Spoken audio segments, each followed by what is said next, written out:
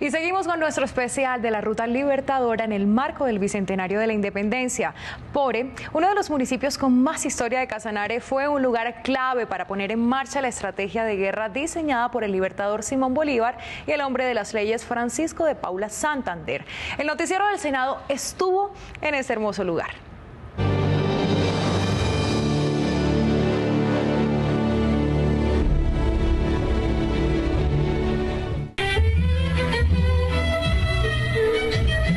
Pore, municipio casanareño a 71 kilómetros de Yopal. Hace 200 años se organizaron las bases del gobierno de la Nueva Granada y mientras se reunía el Congreso Provincial, el proceso de emancipación se abría paso en los campos de batalla. Pore fue protagonista de todo este tema de la independencia, fue punto de encuentro de las tropas y de los ejércitos que en su momento eh, siguieron hacia el pantano de Vargas y la batalla del puente de Boyacá que nos dio toda la independencia.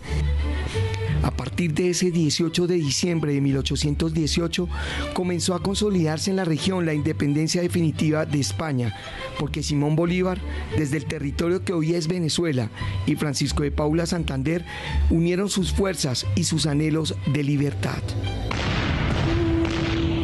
Es el primer departamento Casanare independiente pues del yugo español y en su momento Pore, capital de, de este departamento, se convierte también en la capital de la Nueva Granada. La importancia de Pore en la gesta libertadora como enclave político-militar quedó reafirmada el 22 de junio de 1819, es decir, hace dos siglos.